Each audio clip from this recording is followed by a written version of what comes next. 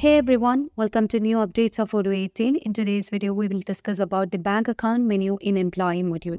So let's dive into the employee module.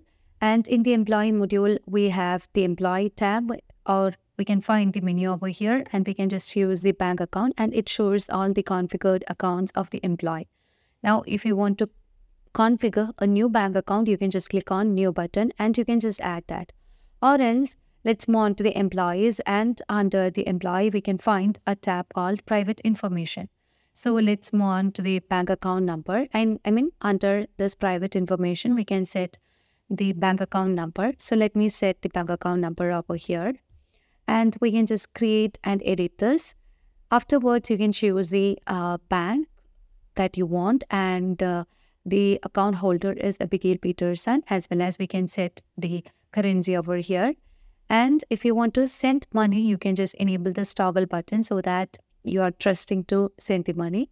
Afterwards, you can just save and close this.